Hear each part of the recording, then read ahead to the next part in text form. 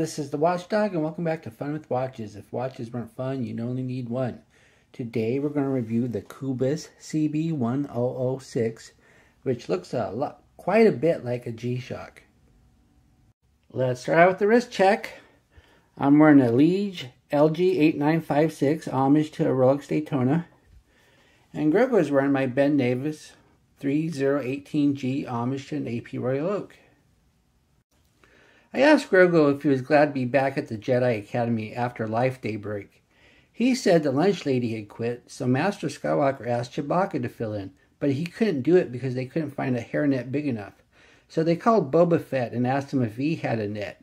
He said no, a net was not available, but he could probably arrange an appearance from Frankie Avalon. Here's the watch. It came in this metal container. The metal container was optional $2 upgrade. So if you don't need a metal container, you can save $2.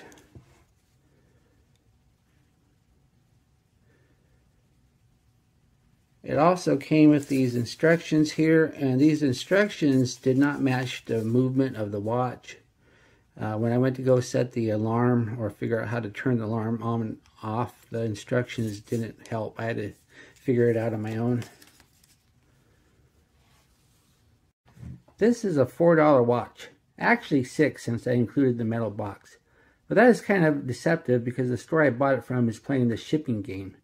Usually shipping is free on AliExpress, but in this case the shipping was $3.69, which bumps up the price quite a bit. But still I paid less than $10 after taxes for this watch. So this watch was even cheaper than the Skmei I recently reviewed. But that watch was a 100 meter watch with a 10 year battery and just feels a bit more rugged. This watch is only 30 meters, has a normal battery, and feels a bit plasticky. So why buy this watch when you can get a Casio for just a little bit more? There really is no reason. I imagine a lot of you see these really cheap watches on AliExpress and ask yourself if it is any good. But you don't spend the money to find out because it's just a mild curiosity and not worth the $10 and three to four weeks wait to find out. Well, I spent the $10 for you. Then there's the name, Coobos. I guess it is better than Skmei, but not by much. If somebody asks you if you're wearing a G-Shock, you can say, most certainly not. This is genuine Coobos.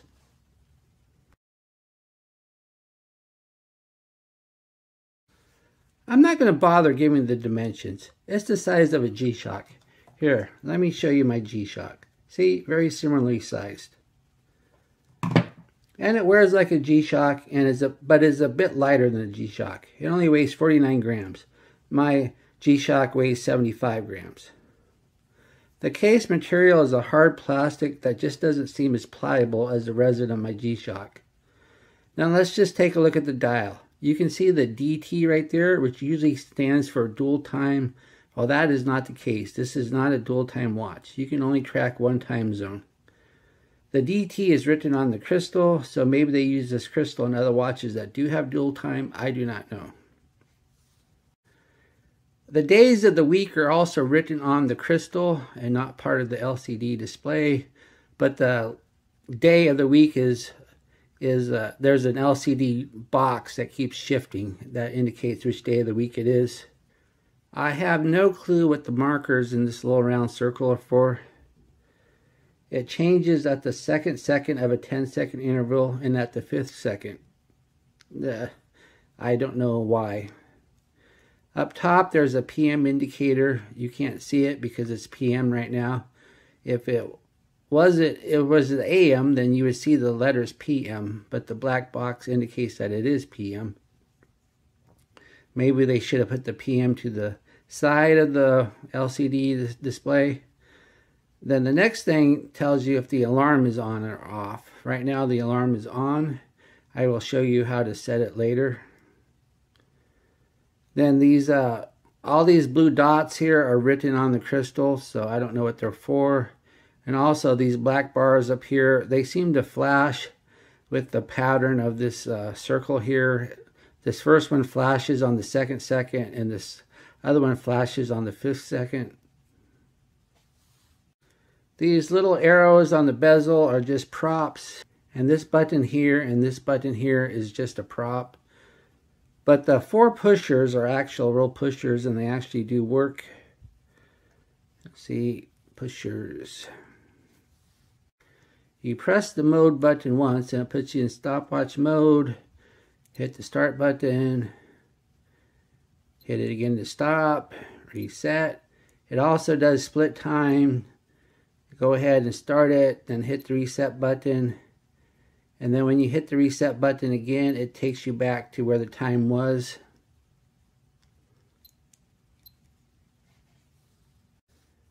If you've used the stopwatch and hit mode, it takes you back to normal time. But if you're at the stopwatch and you haven't used it, when you hit mode again, it takes you to the alarm setting.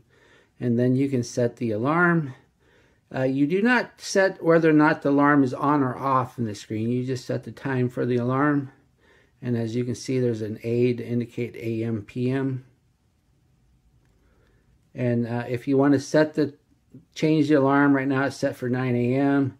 Just hit the start button and that sets it to 10 a.m. And if you want to set it to 10.30, hit the reset button and that takes you to the minutes. And then you can just set the minutes to 1030.